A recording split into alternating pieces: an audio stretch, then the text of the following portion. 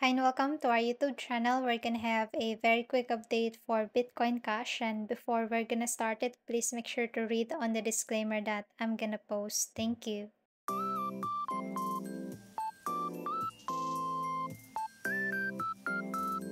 Hi and welcome back. So this is our previous chart for Bitcoin Cash where we have our update on this price right here.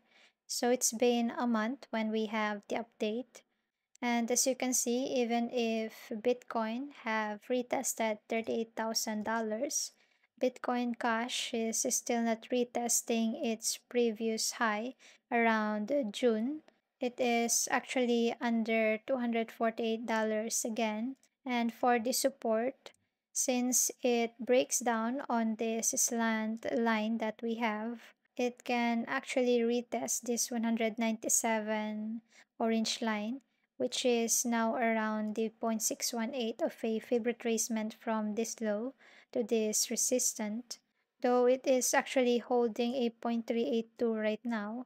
So let's see if for this week we're gonna go ahead and retest 248 again or we're gonna go ahead and retest the 0.618.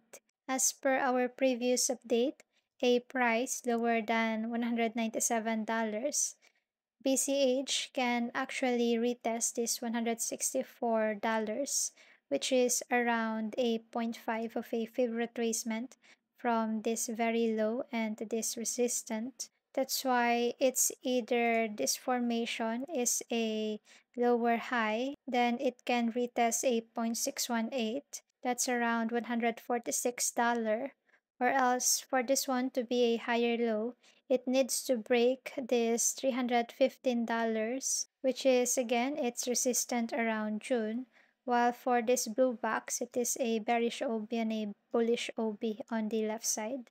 Anyway, for this week, we're gonna have PCE report, and on Friday, December 1, we're gonna start the month by Fed Chair Jerome Powell's speech. So if you are trading, have your own stop loss and be diligent in your own risk management. For now, that's it for a very quick update for BCH. If you like this kind of content, don't forget to like, subscribe, comment down below if you have some coins for me to chart.